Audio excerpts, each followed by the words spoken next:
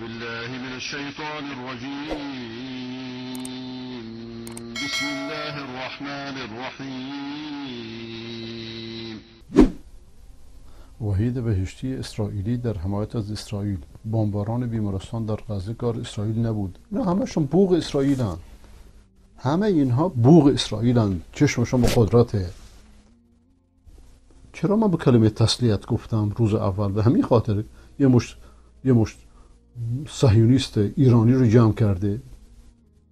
فقط به خاطر اینکه آقا پاسپورت بگیره نمی‌دونم به جایی برسه. الان business دعوت به جا خودش.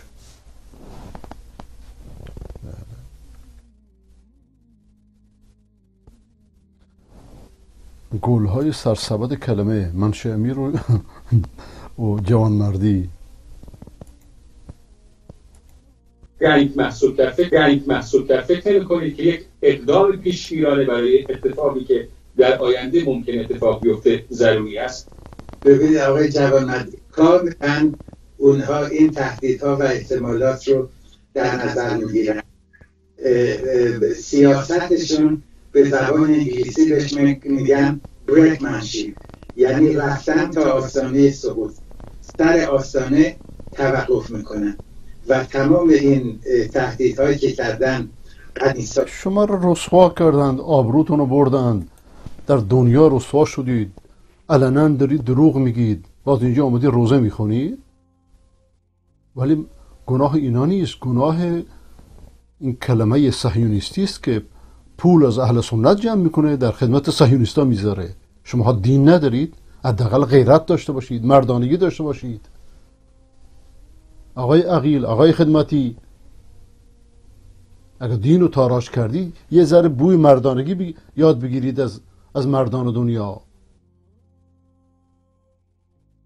شما با چه شرمندگی دولتی که ادعا می‌کنه ضد صهیونیستا؟ شما بودی صهیون... میدان صهیون... تلویزیون صهیونیستی شدید؟ حداقل یه ذره عقل داشته باشید. ولی اگه یادتون باشه من از قدیم اینها رو اینطوری میشناختم و می‌گفتم. الان در خودمان داره رسواشو می‌کنه.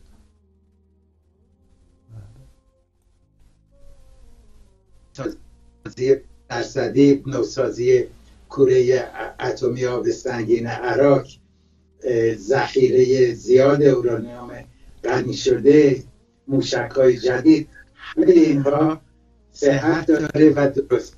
بله یه پستی پست چیزی برای آقای عقیل برای آقای خدمتی شیخ الاسلام آینده ایران بشه. آقای عقیل هم مثلا یه پستی براش جستجو کنید یه پاسپورتی هم اینجا براش دست پا کنید آقای منش امیر شما که ماشاءالله خرطو میره.